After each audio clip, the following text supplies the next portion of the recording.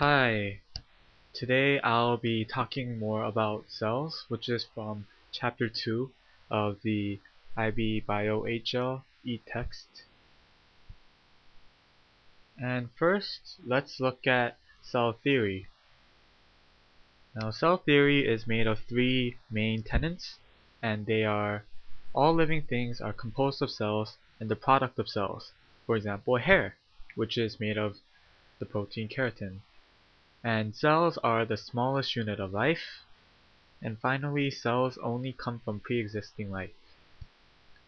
And this is the picture of Theodore Schwann, who contributed to the cell uh, to the cell theory that we study today in modern times. And this is a picture of a prokaryotic cell, which is what we're going to talk about next. And prokaryotic cells have several parts to them. And first of all, they have a cell wall, which is made of protein sugars, and a plasma membrane, which controls which materials enter or leave the cell, a cytoplasm, which is watery fluid that contains enzymes, pili, which are thin protein tubes, flagella, which are long thread-like structures, ribosomes, which consist of RNA and proteins and play a key role in protein synthesis, and finally a nucleoid region which contains the DNA. And next, let's look at eukaryotic cells.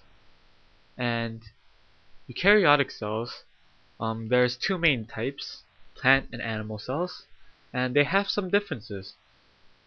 Plant cells have a plasma membrane and a cell wall, while animal cells only have a plasma membrane. And plant cells have chloroplasts for photosynthesis, whereas animal cells do not. Plant cells have large permanent vacuoles, and animal cells may or may not have small temporary vacuoles. And as you can see here, this is a diagram of a typical animal cell and there's many different parts in the cell which include a mitochondrion, um, the powerhouse of the cell, where ATP production takes place, and ribosome, and the rough ER and centrioles, ribosomes, lysosomes, microtubules. As you can see, there's lots of different parts to a typical cell. And finally, let's look at cell membranes. And a cell membrane can be explained using the fluid mosaic model.